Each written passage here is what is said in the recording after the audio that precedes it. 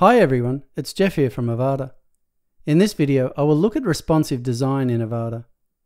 Don't forget to subscribe to our YouTube channel and click the bell icon to be notified of all new content. Okay, let's begin. Avada is fully responsive by default, but there are also responsive tools to help you while you are building and many options to help you fine tune your website so that it looks as good on a tablet or phone as it does on a desktop. Let's just look at an example here. If we look at the tattoo pre-built, it looks great on a large screen. And if I change to medium screen view, we can see the header changes somewhat. And if we go down to small screen view, the header changes even more. And as we scroll down, we can see the layout has been simplified to suit the smaller screen size. How and when these changes take place, however, is very much up to you through the global responsive options found at Options, Responsive, and the responsive element options you choose as you build. Let's take a look at the global options. These are the main responsive options, but there are other global options as well that influence how your site looks on different devices. The first option is on by default, as this turns responsive design on or off in Avada. If set to off, a fixed layout is used, but responsive websites are basically expected these days. The next four options are to do with responsive breakpoints, the screen pixel width when the layouts start to change. The first of these is the grid responsive breakpoint. This option controls when grid layouts such as the blog or portfolio begin to break into smaller columns. Next comes the header responsive breakpoint. This controls when the desktop header changes to the mobile header and begins to show the mobile menu. This is an older option which is only relevant for sites that are using an option-based header. You have direct control over this if you build a custom header with Avada layouts. Then there is a responsive breakpoint for the site content. This controls when the site content area changes to the mobile layout. This includes all content below the header.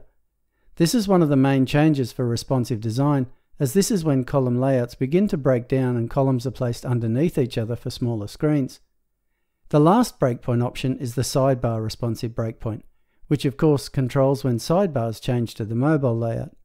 This option is somewhat of a legacy one now as well, as sticky columns are now the best practice method. The last option in this section is mobile device zoom, where you can enable or disable pinch zoom on mobile devices. Following this, we find the element responsive breakpoints for small and medium screens.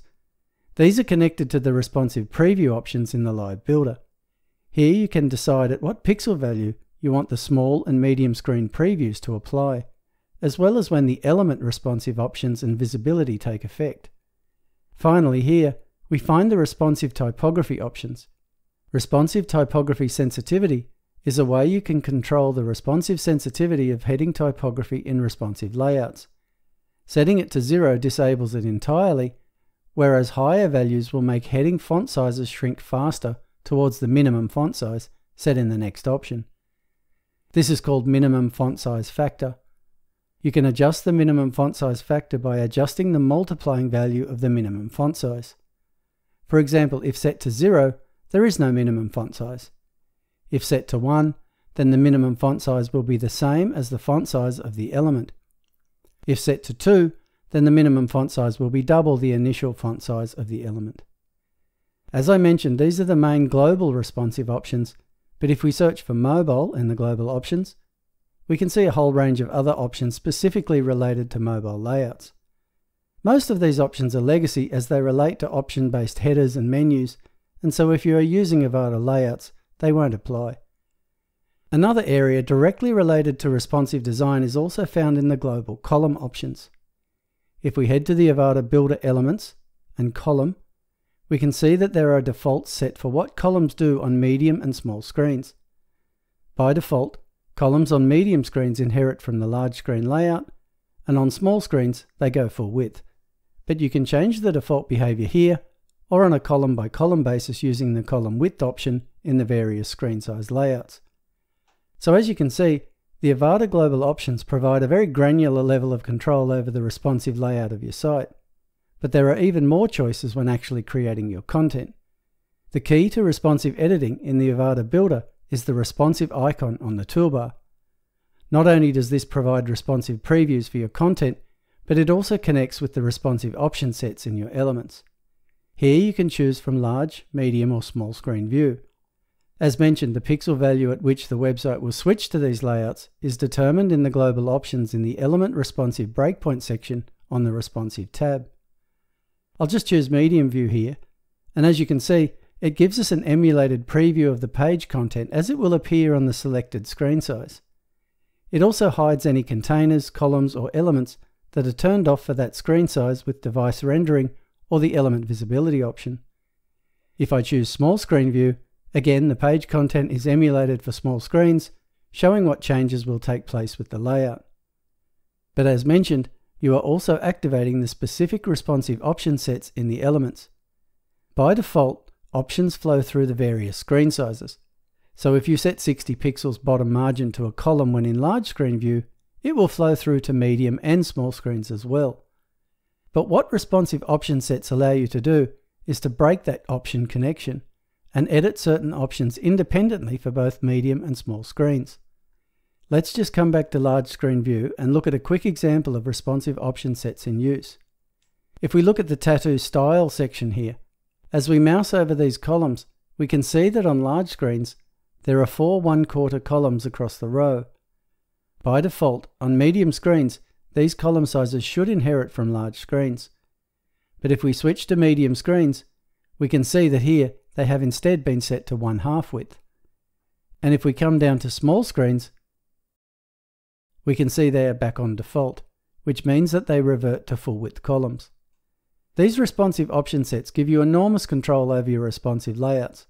For full details on this remarkable feature, please see the Using Responsive Option Sets in Avada video for a more thorough run through of what's possible with this tool. Finally, mention must be made of images when talking about responsive design in Avada.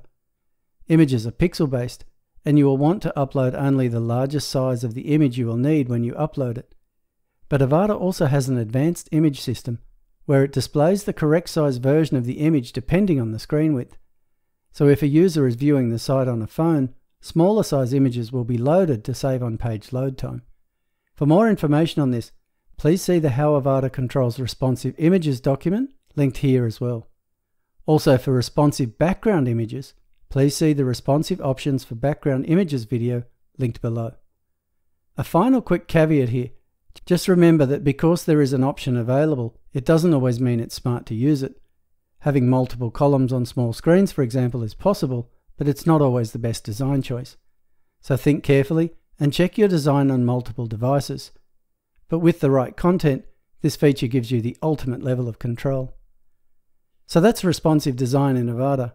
Avada provides a range of options and tools to help you edit your content to make sure it looks exactly as you want it on all screen sizes. Okay, that's it for this video. Make sure you subscribe to our YouTube channel to keep up with all the latest videos. And if you have any questions or need assistance, please create a support ticket and our team will gladly assist you. As always, we want to thank you for choosing Avada.